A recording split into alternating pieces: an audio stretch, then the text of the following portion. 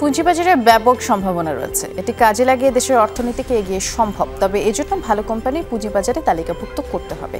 সকালে capital market journalist ফোরামের সাথে মতবিনিময়কালে এসব কথা বলেছেন ডিএসসি ব্রোকারেজ অ্যাসোসিয়েশন।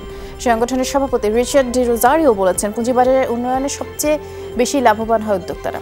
অনেক স্টার্টআপে কোম্পানিকে এই বাজারের মাধ্যমে সহায়তা করা সম্ভব। তবে ভালো কোম্পানি নিয়ে আসাও জরুরি, কারণ ভালো কোম্পানি পুঁজিবাজারে বিনিয়োগকারী নিয়ে আসে, যা বাজারকে গতিশীল করতে সহায়তা করে।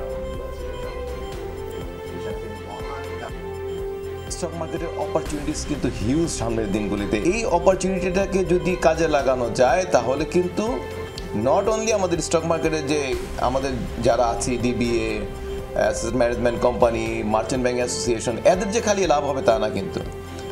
মূল লাভটা কিন্তু হবে হচ্ছে নতুন নতুন যারা এন্টারপ্রেনিয়র তৈরি করার কাজটা এবং নতুন যারা উদ্যোগী হবে। ভালো কোম্পানি আসলেই কিন্তু তার সাথে ভালো ইনভেস্টর আসে এবং প্রচুর ইনভেস্টর আসে। স্টক মার্কেটটা বড় হয় কিন্তু খারাপ কোম্পানি আসলে কিন্তু ইনভেস্টর আসবে না।